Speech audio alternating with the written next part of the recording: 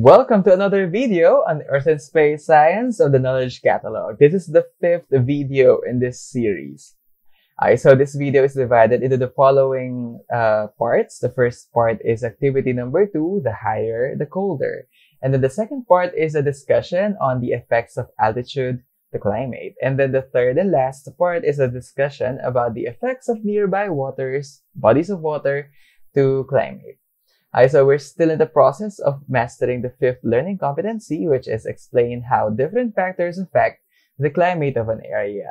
Ayan. So if you want to follow through with your learner's module, you can open it in Unit 3, Module 2, pages 31 to 37. Let's begin. The first part of this uh, video is activity number 2, the higher the colder. So as usual, you will need an, a, piece, a piece of paper and a pencil or a pen in uh, accomplishing this activity. And if you are my student, you have your science notebook. Right? So you have to bring it out. Ayan. So uh, the objective of this activity is that uh, by the end of this activity, you should be able to explain how altitude or yung taas ng isang place affects its climate. Okay, so yung climate na mismong place na yun. And if you're ready, let us now proceed with the first part of the procedure. Study the following table. Ayan. So, uh, tingnan ninyo yung name of the place. It's the first column. And then the elevation above sea level in meters. So, kung gaano kataas yung place above sea level in terms of meters. Ayan. So, naka-indicate dito sa, sa ating second column. And then the last column is uh, the annual average temperature of the place.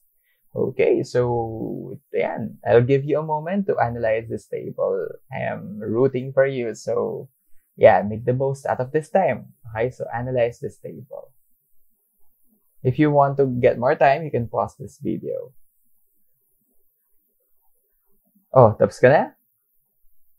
Okay, sige. Let's uh, proceed now with the uh, questions. Okay, the first guide question for this activity is, uh, which of the following, or which of these places here, this first column, uh, is considered to be the coldest. So look at the name of the place and then uh, the annual average temperature. And then uh, tell me, which of them is the coldest? If you need more time, uh, baka medyo nahihirapan ka pa, it's okay. Actually, it's okay. It's, it's, it's just fine. Okay. So, but if you are having difficulties, uh, you can always pause this video. Okay na? Okay, so let's proceed with the second question. Okay, question number two. Which place is considered the hottest? Okay. The next question is, the next and last question is, uh, based on the data, what is the relationship between altitude and the temperature of a place? Mm-hmm.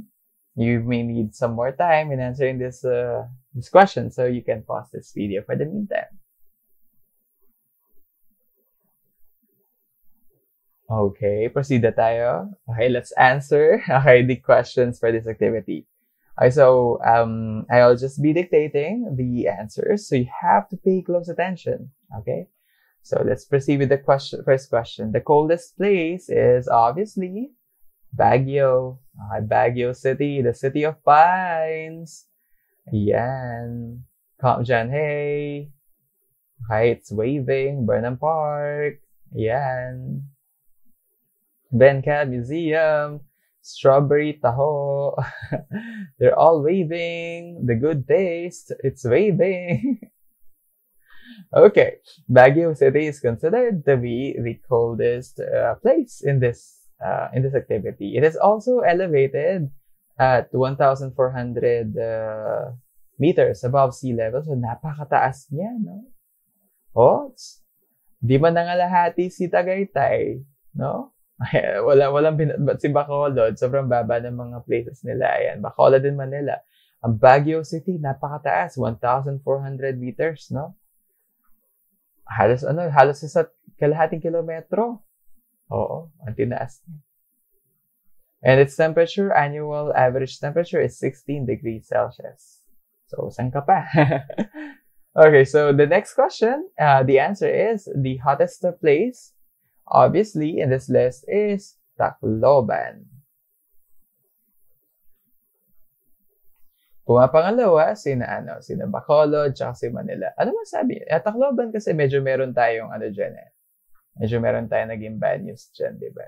Yes, so uh, Tacloban uh, was hit by a very strong, ano, a very strong typhoon. Okay, so we do not forget that. We do not forget our lessons. Um, also, do not forget the uh, people uh, who suffered so much loss dun mga, mga time na yun. So, ayan. In this activity, Tacloban has the highest temperature, highest annual average temperature. So, it's considered to be the hottest. And then the last question is uh, the relationship between altitude and temperature is very apparent. No, napakalinaw. Okay, the higher the altitude, the lower the temperature. Okay, so Bawa yan, sa Baguio City, ang taas ng pwesto niya, so mababa yung temperature niya. Same with Tagaytay, mataas yung pwesto, mababa yung temperature. Ayun. So, let's now proceed.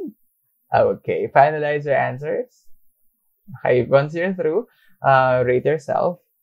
Okay. So, if you got all three questions correctly, okay, rate yourself as uh, 3 over 3. Kung meron kung di ka gaano satisfied, give yourself 0.5. It's fine. Uh, and then report 2.5 uh, over 3. And kung ba, di kayo ganang satisfied sa mga sagutin nyo in each of the numbers, just uh, give yourself 0.5. Lalo kung feeling nyo tama naman, kulang lang. Have mercy. Okay. Okay, let, let us now proceed with the next part of this uh, session, which is activity, which is a discussion, okay, about the effects of altitude to climate. Um, nalito na natin kanina, the higher the altitude, the lower the temperature. Mount Fuji, um, Mount Fuji, a very, very famous mountain in Japan. Ayan. Yung ano niya, yung bandang nasa taas niya, siya talaga yung may ice cap, no? Bakit kaya ganon? Bakit kaya? Okay, kasi siya yung, ito yung mga areas na mataas dun sa mountain. So, expect mo lang talaga na mayroon siyang ice cap. Kasi the higher the elevation, the higher the place is, the lower the temperature. So altitude refers to the height of an area above sea level, so ASL. An average of 1 degree Celsius is uh, usually decreased from every for every 100 meters above sea level. Kaya ayun, imagine niyo na gaano kalalamig sa mga sobrang taas na mga place, di ba? Yeah. Ayun, bale, yun lang. For the effects of altitude climate, napakadali, no? okay, so let's now proceed the last part of this session. Abilis.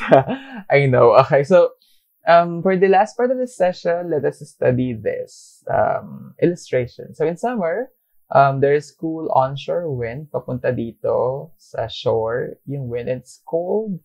Ne? Uh, the sea is cooler during summer. And then yung coast naman is 17 degrees Celsius. Uh, ito is uh, coast kaya kasi malapit siya dito sa, of course, malapit siya sa body of water. Pero inland, uh, it is uh, 21 degrees Celsius kasi, okay, it, uh, it, it, they are varying kasi mas malapit itong part na to sa body of water. Dito naman, yung warm onshore na wind, siya yung, I mean, uh, siya yung una, ang coast ang unang makaka, ano sa kanya, makakalangkap sa kanya. So, mainit-init pa yon. The sea is also uh, warmer during winter. So, mainit-init yung tubig, mainit-init din yung, ano, yung wind na papasok sa land. Okay, so since ang coast is malapit lang dito sa may tubigan, uh, siya ay mayroong 9 degrees Celsius in winter. Whereas inland, meron naman siyang 5 degrees Celsius. So, uh, ganun yung pinagkaiba niya. Mas malamig inland. Dito naman, mas mainit inland. Um, when, a, when an area is uh, near a body of water, mas nare-regulate siya. Why is that so? Because water is, uh, it tends to gain and lose uh, thermal energy fast. I mean, uh, slower. Diba ganito? Um, of course, uh, feeling ko nakapag, ano ka na rin naman, di ba? Nakap, nakapagligo ka na sa beach, no? Okay. Siguro nahalata mo yun. Like, uh, siguro mga, ano na yun, mga alas 9, okay, 9 a.m. until 11 a.m., uh, malamig pa yung tubig, no? The, the water is still very cold. Um, tapos, bandang hapon nun, mga siguro 5 ganun, warm naman yung water. Bakit kaya ganun? Um, it's because um, water will be uh, gaining uh, thermal energy from the ano, from the sun slower. Kaya kahit na alas 9 na, alas 10 na, or alas 11 na ng umaga, mainit na yung, mainit na yung tirik ng araw, malamig pa rin yung tubig. It's because it is absorbing uh, thermal energy slower. And then naman, kapag hapon, like nawala na halimbawa yung, ano, yung, I mean, nag-set na yung sun, so wala nang, ano, wala nang source of thermal energy for that time, tapos mga 6 p.m. na, 7 p.m. na, wala na talaga yung gabi na, pero the water is still warm. Why is that so? It's because um, nag start pa lang mag-lose. Okay, nag start pa lang mag-lose ng thermal energy ang tubig kahit na gabi na. So again, it the water tends to lose thermal energy um, slower than uh, land. Ang lupa kasi agad siyang nagpapalit ng temperature whereas ang tubig, hindi. So during summer, yung sea, it's generally cooler than the coast. So medyo mas malalamig, malalamig sa summer, sarap mag-swimming. uh, and then, um, kapag naman ano, kapag naman winter, yung coast naman is warmer. So it's better. Alright, take for instance, halimbawa ito si Glasgow, Glasgow from the United Kingdom, tsaka si Moscow in Russia. Pareho lang yung latitude nila, ay ano. halos magkahawig or halos nasa isang ano lang talaga sa isang latitude magkalapit na magkalapit ng latitudes nila yan no pero kapag halimbawa nag ano nag uh, winter o kaya nag summer sa Moscow so mas ano mas severe kumpara dito sa Glasgow kasi sa Glasgow mas nare-regulate dahil nga malapit siya sa body of water Halimbawa, dito super na freezing, no? no? Freezing na freezing na sa Moscow. Dito sa Glasgow, ano pa rin siya? Kere lang. Kasi ano, surrounded by water naman siya. Ayun. Tapos kapag summer naman, sobrang init na dito sa Moscow, pero dito sa Glasgow naman, kere lang. Kasi again, surrounded by water. Ayun. So, um, we are able to finish. Yes. Uh, I think this is the third, no? The third factor affecting climate. And so do you have questions? If you have questions, you can always ask them in our comment section. Let's down below. And so yeah, ayan, bilis.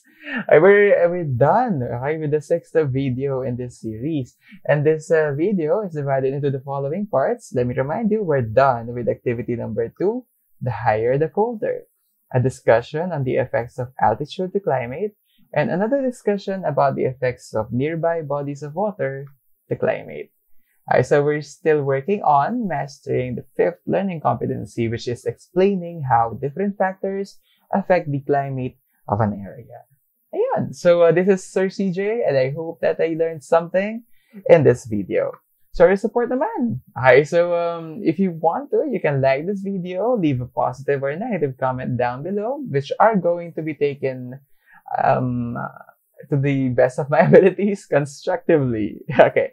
And then you can also subscribe to this channel. And uh, if you, if it, hindi naman ganong kalabisan, you can also uh, click on that bell button so that you'll be notified once I upload new content. Okay. So I hope that you're having a good day. See you in the next video.